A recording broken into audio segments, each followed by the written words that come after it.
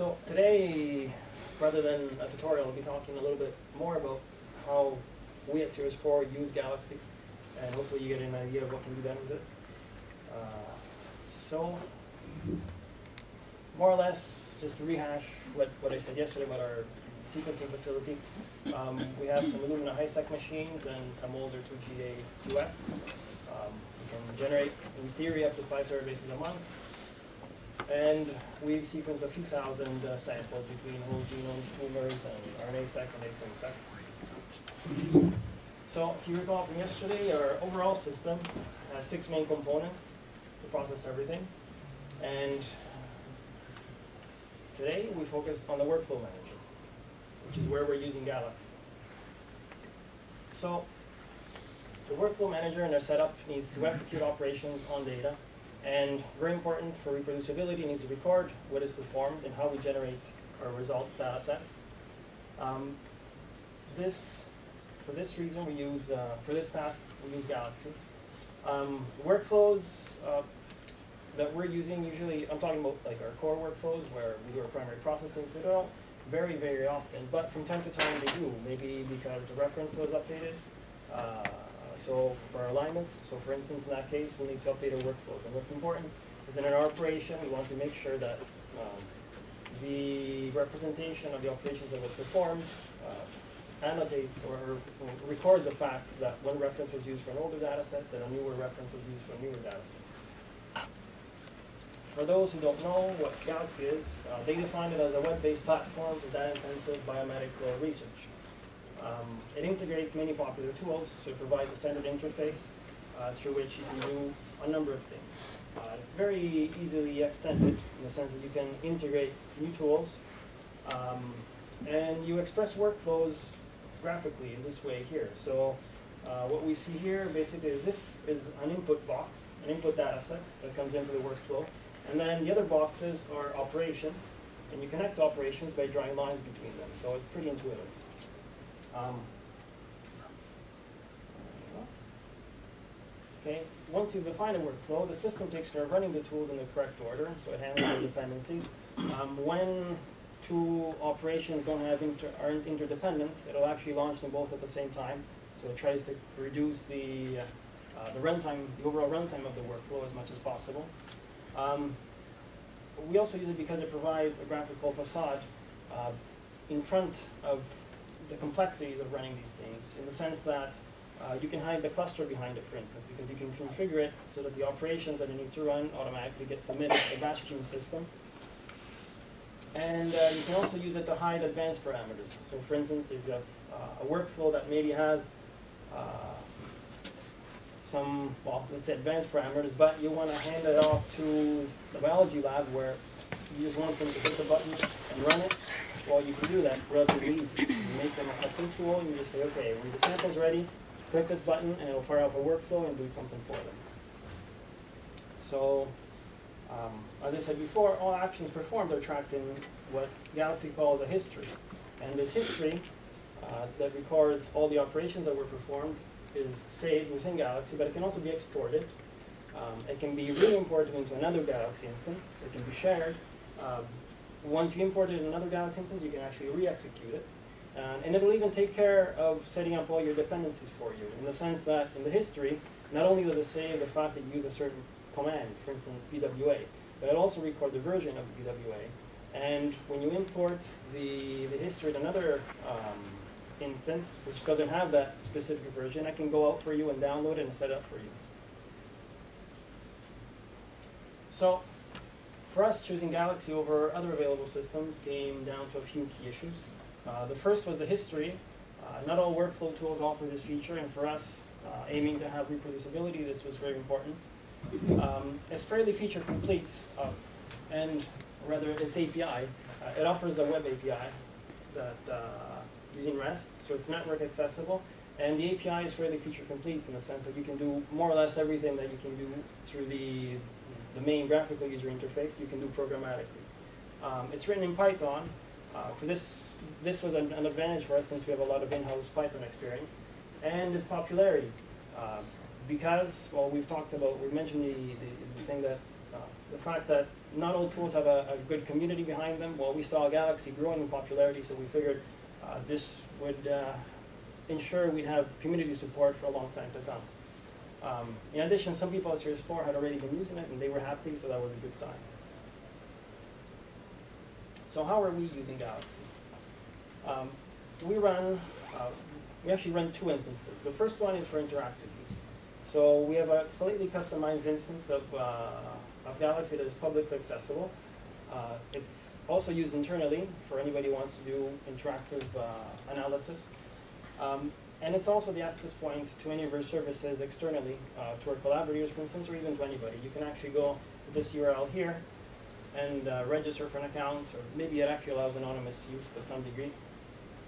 Okay, so uh, for instance, when we have a collaboration with some outside lab, uh, maybe they ask us if we can implement some specific pipeline for them or some tool, uh, but they don't want to deal with it on the command line, or they don't have the computing resources locally to, uh, to run it. Uh, what we can do for them is set up the tool or set up the workflow for them on our side and allow them to use our computing resources through this interface. So they can start up the tool, upload the data that they need to process, and then just run it. But this is not our pipeline. Uh, our pipeline is the second instance of Galaxy that we're running. So we have um, high-level workflows defined in code, actually within the automator. Okay, so the way we do it is uh, the automator system is uh, event-based. Uh, we have a table where we define a number of events that can occur in our process, and for each event there is an associated action. Uh, the action is basically just uh, a function, so to speak, a handler for this event that will get called when this event occurs. So for instance, when the flow cell finishes, uh, we notice that the sequencer finished running, we'll call an action that registers the data directory that was generated. Uh, in turn, these actions can generate new events. So for instance, after the data directory is registered, we have a new data directory event. And now we can trigger a workflow. When the workflow finishes, we'll have new data sets. So we'll get new data set events. And now we register the data sets. Okay, so this is how, at the high level, this is how our, our pipeline makes, uh, makes progress. Um, so actions trigger workflows or perform housekeeping chores, such as registering data sets with iRODS, with uh, Omero Biobank, um, or they actually, or they move data to the correct place in our storage system, um, but they do not directly change the data or, mod or, or create new data sets. For that, we use Galaxy. Because, again, this allows us to track the operations that we're performing uh, with Galaxy histories. The histories are then exported to the Omero Biobank component, which is the thing I mentioned yesterday with the, with the graphs of operations. Uh, later, if need be, we can reinstantiate those histories in the Galaxy instance and re-execute them.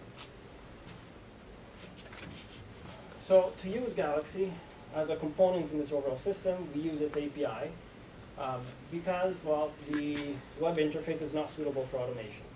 Um, to, rather than accessing the API directly with, with composing our REST calls, we actually adopted uh, what's called BioBlend, is a Python module that gives us uh, a Python interface and to, to call these API calls, basically. Um, uh, later, we contributed to this project, enhancing it, and uh, we created an object-oriented interface that's a little easier to use. Uh, so the BioBlend object interface that we created is fairly feature complete in the sense that it can, you can pretty much access all the Galaxy API calls.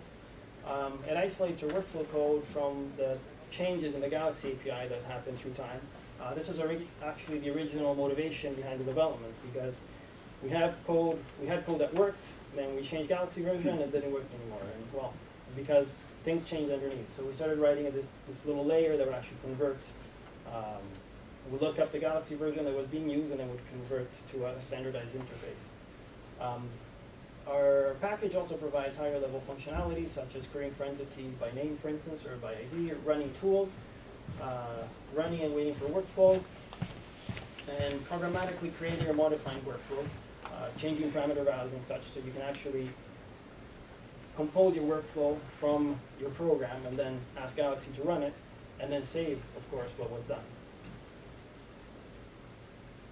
Here's an example of uh, how you can call a workflow using BioBlend objects. Uh, is Python, of course, you would import the Galaxy instance class. Uh, you would connect the Galaxy by specifying the URL and your API key. This is for authentication, so you get a secret code. Um, you would fetch the workflow that you want to run. Uh, this is some trickery to find a library that is called mylib. And within a library, you have some data sets. So we'll fish out those data sets. And then we'll uh, compose the input. This is more trickery to say that, okay, the workflow has a number of parameters with a name, and to each one of those names, we're going to associate a data set. And then you just pass it to the run method of the workflow. And you tell it, okay, record whatever you do in a history called output history. Okay. Uh, what's nice about this is that the return values, I say here workflow, is actually an object. It's not a simple data structure. So what we've done in this API is, although Galaxy returns simple JSON that has uh, attributes that describe the object that you queried, we're actually wrapping it within uh, an object that has behavior. Uh, so a workflow can be run, for instance, and uh, a library, you can get its data sets. Okay, so when you're writing the code, it makes it a little bit easier to use. And it also enables auto-completion in, uh, in like IPython, for instance, if you're doing interactive things, or, or whatever Python GUI you might want to, or IDE you like to use. So, okay, another problem that we had, and I mentioned yesterday, was scaling computational throughput in our. um, so, for this, we implemented some Hadoop-based tools, especially for our, our bottleneck steps. Um, and those would be Seal, uh, and SeqPig are other support platforms that support APIs that we use on top of Hadoop to help us write, uh, write tools. Okay, so these tools generate new data sets. So in our setup, we want to call them through Galaxy. So we can have a history that says what we did. Okay, but Galaxy is incompatible with Hadoop-based tools. Um, there are two issues that uh, uh, prevent them from, from playing nice with each other. Uh, the first is the number of files in a data set. Galaxy assumes that a data set is a file, pretty much, okay? And on the other hand, Hadoop purposely, purposefully splits up data sets into multiple files because being a distributed system, it's going to split up your job into many tasks, each one running on a different node, and every one is going to generate its own output file. And the other problem is uh, data sets in a mounted path. Uh, Galaxy expects that whatever data sets you're working on are directly accessible on a machine where Galaxy is running. Uh, Hadoop, on the other hand, favors using its distributed file system, which cannot be used like a normal file system. So whatever we generate with Hadoop then cannot be accessed directly from Galaxy. And the same problem exists if you're running on the cloud. Say you want to rent uh, storage space on Amazon and use their nice uh, uh, Elastic MapReduce service to run Hadoop on their cloud. Well, with Galaxy, you have a problem now because you can't access your data on the S3 buckets directly. So to solve this, we created an adapter we called Hadoop Galaxy. Uh, conceptually, the solution is pretty simple. Uh, we create a level of indirection. Uh, we create this thing called a path set, which is is a text file simply, is a new Galaxy data set. Um, and within this text file, we list a number of URIs, each one of which is referencing some part of your entire data set. Um, to materialize the full data set, you would take all these part files that you're referencing in your, in your, in your path set, and you just concatenate them all together. So here's an example that should make things clear. Uh, we have a little bit of uh, metadata here. This is just a header, so we specify the version of format and the data type that we're uh, referencing. And these are two files. These are two lines of a path set. Uh, each line is referencing a different file, which is sitting on a Hadoop file system, so not on our local machine. Um, if we wanted to recompose this entire data set, we would take this file and this and this second R2 file and just stick them together in the same file, and now we're done. The, adapt, the, the path set alone, though, isn't a complete solution. Um, the, we need another component, an adapter, which will sort of dereference these path set files and provide these paths as arguments to our Hadoop program. So this is another example, or an, an example of our adapter in, uh, in use. Um, Galaxy would call, rather than calling, okay, here we want to call this program here, distributed text zipper. So it's going to compress some data for us. Um, rather than calling this Hadoop-based program directly, we're going to call our adapter, which is called Hadoop Galaxy, and we're going to tell it that we want to use this Galaxy dataset, dataset 1234, as input, and we wanted to put its output in dataset 1235, okay? Now, in turn, this adapter is going to perform this. It's going to call our Hadoop program. The contents of 1, 2, 3, 4, which is what you saw earlier in the example path set, are going to be provided as input, and that's these two paths here. And then it's going to generate a new path where the Hadoop program can write the output.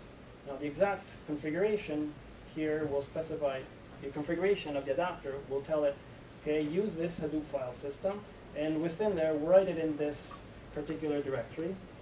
And here, it's just going to generate a random name for you, something unique where you can write.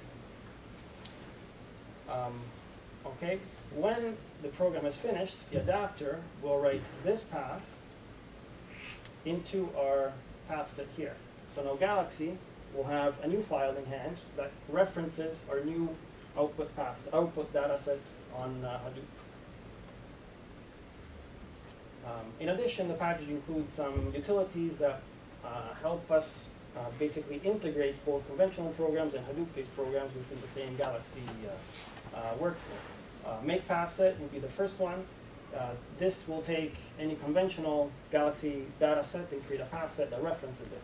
So with this program, you can put it in between a Hadoop program and a conventional program, and it will form a link between them.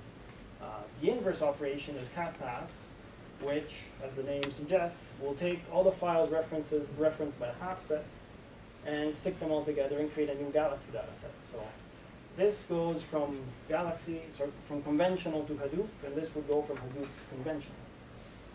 A nice feature of this program is that it can actually use your Hadoop cluster and parallelize the concatenation operation. So it'll run a whole bunch of writes together from different machines, and you'll, you'll finish faster this way.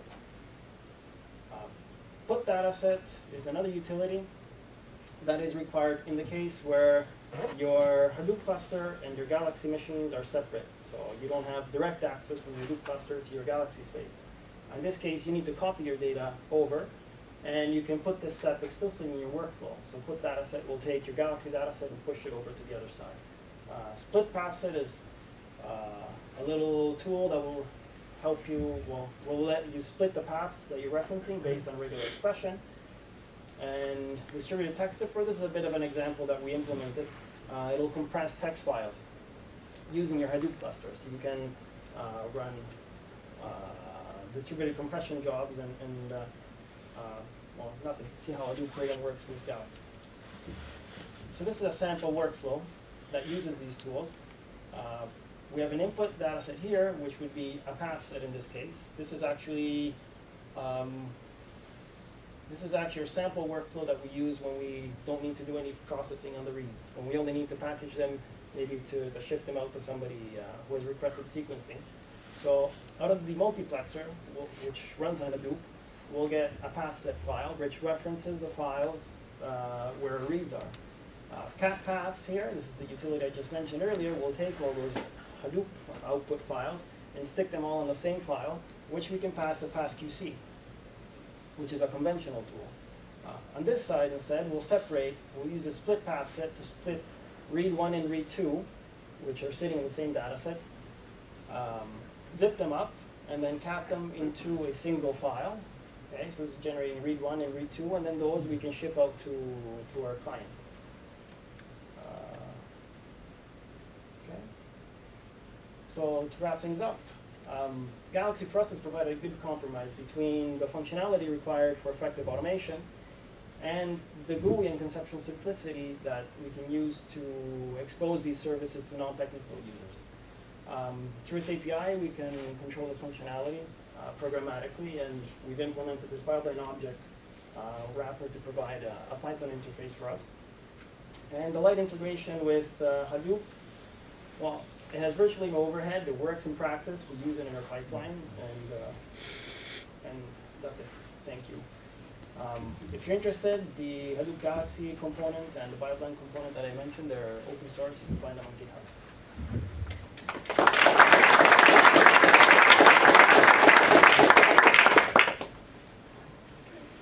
Questions? Did you uh, done some comparison when when the Galaxy run behind the in front of the Slurm and the, when the Galaxy run in front of the Hadoop. Did you do some comparison? What is the comparison between these two? Comparison, uh, okay, we don't use Slurm, we use Grid Engine. Uh, Yeah, yeah, for suspect example, you're thinking if we gain any performance by using Hadoop tools rather than conventional Yeah, yeah. tools. Um, yes, but that depends on the tool specifically. So, um, our demultiplexer, for instance, scales almost linearly, at least to the cluster sizes that, uh, that we're using. So, uh, if you were to use a standard demulti- demultiplexer on one node, uh, uh, compared to our Hadoop-based demultiplexer on uh, 50 nodes, you could expect to go close to 50 times faster as total runtime. But yesterday, uh, I mean, yesterday somebody mentioned that there a problem with the HDFS uh, when when you have to write a lot of data, small files. We don't use small files, not on. HDFS. We use big data files. So like small files, we only have small files uh, with the, the sequencer output, the BCL files that the, the Illumina sequencer generate. Uh, but those we leave on our shared storage device. Once we're working with reads, we're working with big files. Yeah, last question. Yeah. Uh, this Galaxy adapter. Uh, uh, uh, actually, I don't get wh- why didn't you just uh, uh, make a Galaxy Job Runner for Hadoop? This would be much easier because you can define how to submit and how to collect results, and then it will be handled by Galaxy. Because the problem is not just running the command, it's actually having access to the files. And if the files are on HDFS, for instance, then your runner can't help you access the data set. Unless But you if you have the files as history elements and you define a job runner, then it will be automatically done. But you just need to define its But, very small uh, number But a normal, but a file in HDFS can't really exist as a data set in history. Because Galaxy has no way to see it. Galaxy doesn't understand how to access HDFS. So that was a problem. So we needed to create a fake file yeah. to make it think that it has something in hand, but really it's just a placeholder that tells you where to find the real data. Yeah, but that's just one information I'd like to add in, in the, I think, not the new version, but the current version of Galaxy.